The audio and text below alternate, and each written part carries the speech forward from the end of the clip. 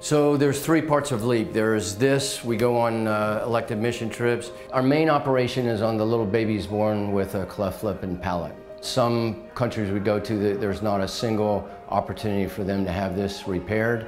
There's international disaster relief. We helped to such a degree with the Haitian disaster relief that we're doing that all over the world now. And uh, we, we've sent 17 teams recently to the Middle East to help the Syrian refugees. The third big thing is landmark. We go and establish such deep relationships that we have patients with the most uh, difficult facial problems in the country, and this is many countries that we work in, come to us. There's no way we could do them here. We've taken over 50 back to the United States and uh, done complex reconstructions on them. But, but LEAP is Christian love. We feel, at least I feel very strongly, that, that uh, Christ gave the ultimate sacrifice uh, for us, and, and we can be a reflection of that.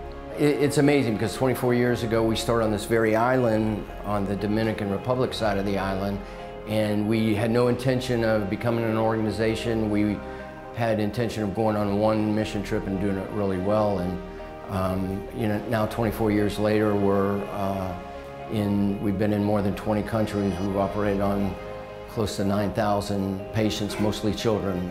There's a lot of reasons not to go. Most people come on a LEAP trip, those, those are totally gone. Well, once they see the uh, compassion of the team and the, the, dedication of the team and the dramatic change that we have on these patients' lives, you can start looking for a lot of things that are rewarding in life, but, but you're not going to find much more rewarding than that.